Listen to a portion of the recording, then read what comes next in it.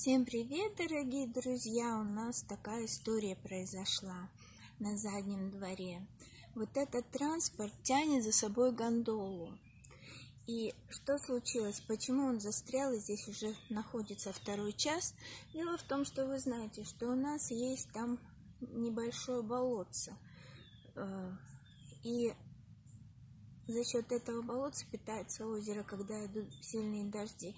Так вот, вода поднялась очень высоко сейчас, и болото хотя и выглядит как бы лужайкой, но очень мягкая почва там, пропитанная водой. И ребята решили вот так вот из соседского двора заехать к нам с корзиной, с гондолой, для того, чтобы убрать дерево начинают они пилить с верхних веток, за это, для этого им нужна гондола. Вот и заехали. Заехали и застряли. Дальше они двинуться не могут.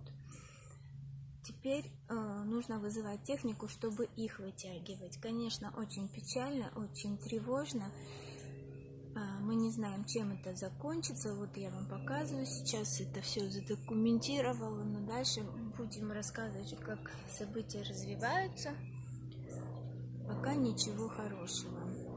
Вот так вот э, мы застряли на этом месте с этими нашими солнечными батареями, с этой обрезкой деревьев, которая тоже не по плану была совершена.